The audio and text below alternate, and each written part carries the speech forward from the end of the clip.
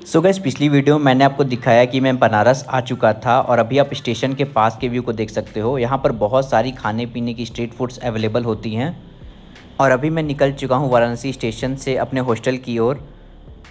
सो so guys अभी आप देख सकते हो बनारस के रोड्स को और ये है बनारस की गलियाँ। सो गैस फाइनली अभी अपने हॉस्टल में पहुँच चुका हूँ और ये बनारस का बहुत ज़्यादा फ़ेमस हॉस्टल है। तो चलिए आपको यहाँ का टूर दूँगा बाद में एक सेपरेट वीडियो में।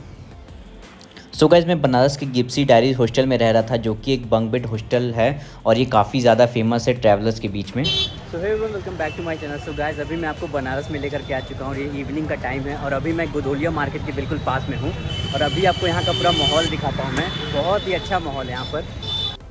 सो so गैज़ अभी आप देख सकते हो गदौलिया का मेन चौक है और काफ़ी ज़्यादा क्राउडेड एरिया होता है। अभी तो मैं पीक सीज़न में नहीं आया हूँ बट आप ऐसे अगर देखोगे तो यहाँ इतनी ज़्यादा क्राउड होती है यहाँ मार्केटिंग के लिए बहुत सारी शॉप्स है। स्ट्रीट फूड्स और वेंडर्स होते हैं तो काफ़ी अच्छी जगह है बनारस की one of the most famous spots में से एक है। फिर वहाँ से मैं चला गया चाट खाने के लिए, जो कि आप देख सकते हो, यह है टमाटर चाट, जो कि वाराणसी की बहुत ज़्यादा फ़ेमस चाट है, और ये काशी चाट भंडार का है, और आप देख सकते हो यहाँ पर कितनी ज़्यादा क्राउड होती है लोगों की यहाँ पर खाने के लिए, और ये शॉप है गोदोलिया मार्केट के बिल्कुल पास में तो आप बनारस आए तो यहाँ पर एक बार ज़रूर आएँ।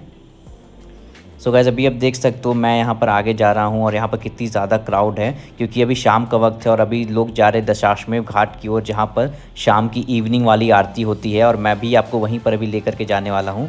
और अभी आप देख सकते हो कितना खूबसूरत लग रहा है ये व्यू पूरा क्राउडेड है और अंदर में आपको फोर व्हीलर या बड़े व्हीकल्स अलाउड नहीं होते हैं।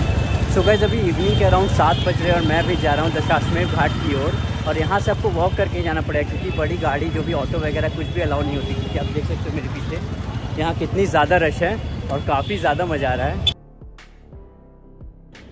सो गैस फाइनली अभी आप देख सकते हो मैं आ चुका हूँ दशाश्मेव घाट जो कि संध्या आरती के लिए फ़ेमस है वाराणसी में और यहाँ पर संध्या आरती होती है और आप देख सकते हो कितनी ज़्यादा क्राउड में लोग यहाँ पर इकट्ठे होते हैं।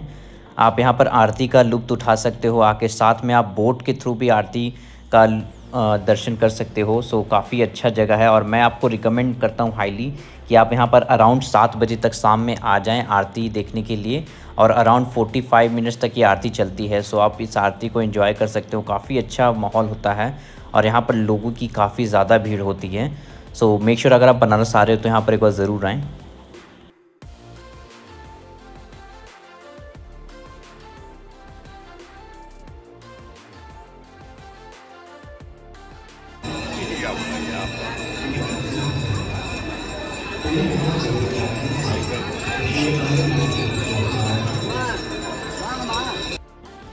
सो so गैज़ आप देख सकते हो मैं दशाश्मिक घाट की पास हूँ और ये कितनी ज़्यादा क्राउड है आपके चारों ओर आप देख सकते हो।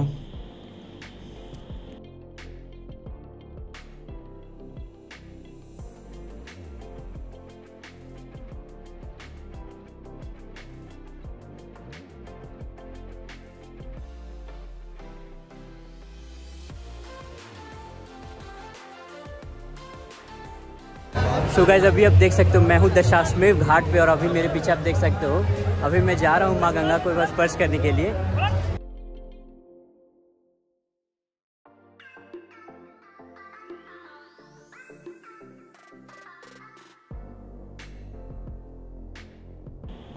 और आप अभी दशाश्मेव घाट से आप देख सकते हो, पूरे घाट का व्यू काफ़ी खूबसूरत लगता है ये रात में लाइटिंग की वजह से।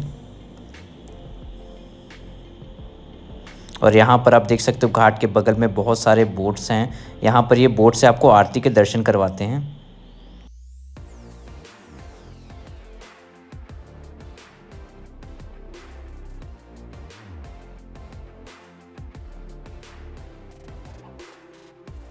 सो so अभी माँ गंगा के दर्शन कर लिया और स्पर्श भी कर लिया उनको।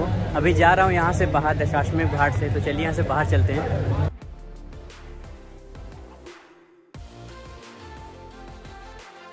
यहाँ पर घाट के पास आपको बहुत सारे वेंडर मिल जाएँगे जो कि रुद्राक्ष की माला, कड़े वगैरह बेचते रहते हैं। सो आप चाहे तो यहाँ पर शॉपिंग भी कर सकते हैं अगर आपको कुछ भी लेना हो तो। यहाँ पर काफ़ी सारी शॉप्स होती हैं मतलब इस तरह से वेंडर लगाते हैं। और make sure do bargain over here और गाइज़ यहाँ पर देख सकते हो कितना खूबसूरत व्यू आ रहा है घाट का।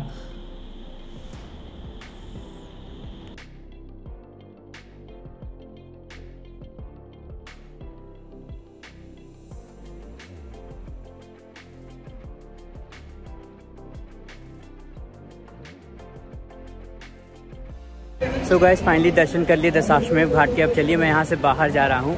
अभी जा रहा हूँ कुछ डिनर करने के लिए क्योंकि अराउंड आठ बज चुके हैं और डिनर करके वापस जाऊँगा अपने हॉस्टल में क्योंकि मुझे मॉर्निंग में आरती अटेंड करनी है जो कि मैं ट्राई करूँगा मॉर्निंग में तीन बजे आने का और वो आरती अस्सी घाट के पास होती है। सो so, अभी मैं दशाश्वमेव घाट से बाहर आ चुका हूँ अभी आप देख सकते हो। और यहाँ पर जैसे ही आप घाट से बाहर आओगे यहाँ पर काफ़ी सारे स्ट्रीट वेंडर्स लगे रखते हैं। सो so, आप इनसे फ़ूड खरीद सकते हो या फिर आपको प्रसाद वगैरह गंगा जल कुछ भी ख़रीदना है तो आप यहाँ पर इन वेंडर से ख़रीद सकते हो। यहाँ पर रोड के दोनों साइड आप देख सकते हो, काफ़ी सारी शॉप्स है। इवन आप देख सकते हो, बनारसी पान वगैरह सब कुछ यहाँ पे मिलता है।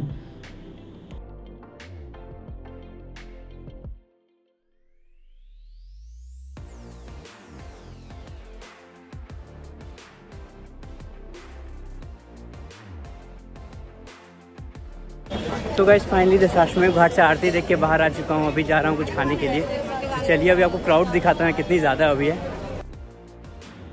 आरती से बहुत सारे लोग एक साथ बाहर आए थे, इसलिए आप देख सकते हो कितनी ज़्यादा तादाद में लोग निकल रहे हैं और बहुत ही ज़्यादा क्राउड है। और इसी क्राउड में आपको घूमने का मज़ा आएगा।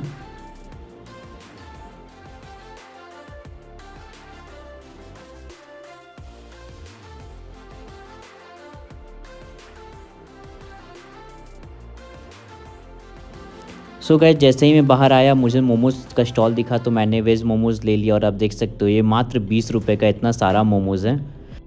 और अभी ऊपर मैं उस रेस्टोरेंट में जा रहा हूँ लंच करने के लिए।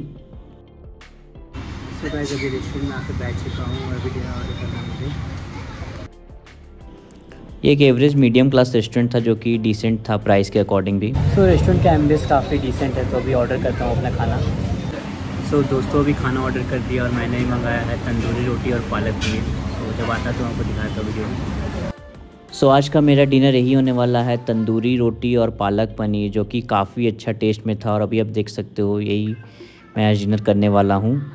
So guys hope you like the video क्योंकि मैं अभी डिनर करके जा रहा हूँ अपने हॉस्टल में सोने के लिए क्योंकि काफ़ी थक गया था ट्रैवल करके आया था so so guys hope you like the video thank you so much for watching मिलता हूँ आपसे नेक्स्ट व्लॉग में. तब तक के लिए goodbye take care stay tune for the next video